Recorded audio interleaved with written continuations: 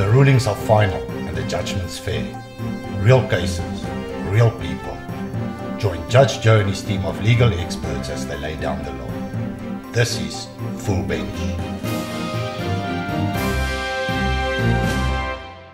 Mr. De Beers, you still don't look very happy with uh, what the verdict was. Um, I, I don't see a smile in your face. Could you explain what you thought uh, about the verdict?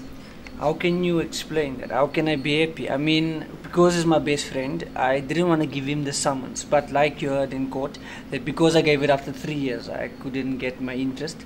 But I believe that the judge was fair, according to gave me what he owes me. So he has to give to Caesar what belongs to Caesar.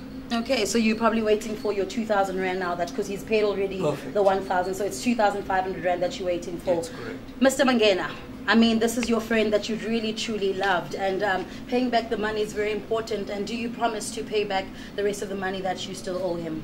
Yes, definitely. And do you think there's going to be any friendship? I mean, you guys have been friends for very long. Do you guys think you can still overlook such a matter? yeah, I'll make sure that I'll, I'll bring my friend back. He's a good friend. It's been quite a long time. I've been unfair, unfair to him, so it's okay. It's fine. I'm going to pay and I hope he, forgives me for this.